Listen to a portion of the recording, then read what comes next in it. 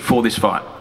Uh, thanks for having me. And first of all, I just want to say thanks to Visit Victoria, um, the City of Greater Bendigo, and the Bendigo Tourism Board. Thanks for support.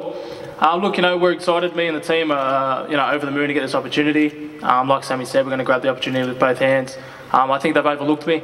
Um, you know, we're going to we're going out there to make a statement and prove a point. Um, and I truly believe I will knock Jeff Horn out.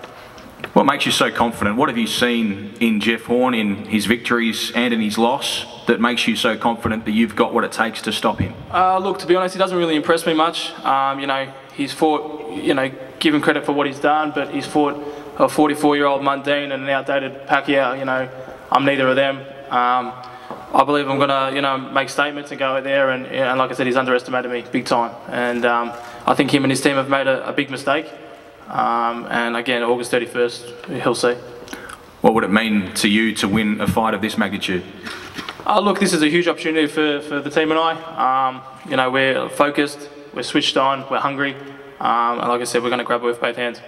What about the fact that you're essentially the opponent in this fight, the B side, if you like, but the fight is taking place only an hour and a half from your place. Jeff's on the other end of the country.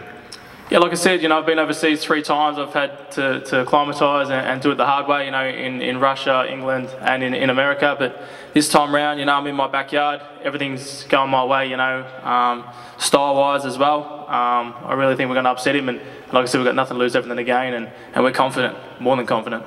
Thank you very much, Michael Zerafa. So that's